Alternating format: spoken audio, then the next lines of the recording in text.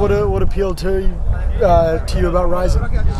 Um, honestly, a lot of things. Um, I've known for a while that they're pretty, pretty good franchise in the USL. Um, I didn't watch USL much in prior years, but more often than not, I would see that Phoenix Rising, for one thing, had not only were they a pretty good team, but they had a pretty strong fan base, um, and that's something I respect a lot. You know, obviously, I like being in environments where the people care about how the team performs. So a lot of things uh, appeal to me, but I'm definitely excited to be here and just take part in all of it.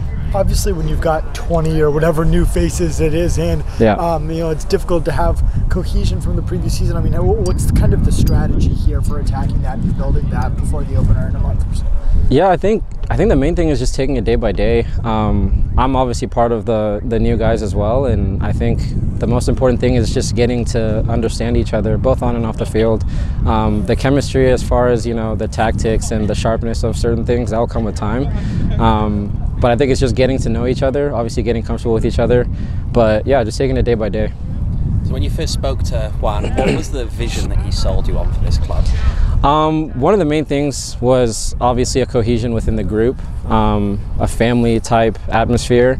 Uh, you know, I think the most successful teams they have to have a pretty tight knit bond with each other, um, and that's something that he's always preached. Um, he still preaches it now. Obviously, protect your your brother, as he calls it. Um, but I think that's important because you obviously have to you know have each other's back to be able to go through whatever adversity that's going to come throughout the season. How clear has the philosophy been from day one? Uh, very clear, very very clear. Um, honestly, prior to day one, we had like a meeting with like all the owners and everything. Um, that spoke a lot to, like I said, the cohesion within just not us on the field, but the whole club in general. Um, so yeah, very very clear, and like I said, it's it's the most important thing for a successful team. And there's plenty of right backs in your uh, kind of area. Has there been talks about how many right backs there are? And if guys are going to play as a center back or maybe even in the pocket as a 10?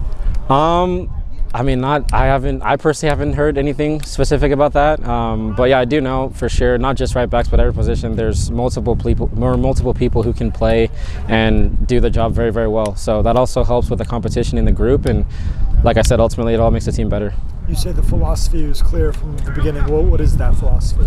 Um, like I said earlier, uh, just a cohesion within the group. Um, everybody from top to bottom, ownership, uh, staff, coaching staff themselves, but also staff in the front office, and then obviously the players. Um, everybody has to be together in order for us to reach a common goal.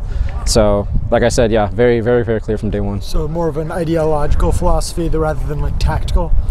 Um, I mean, I would say it honestly is a little bit of both because the cohesion obviously has to contribute to the tactical piece as well on the field. Um, so yeah, I would say it contributes to pretty much all aspects. Having a cohesion, having a bond with each other, I think that's one of the most important things.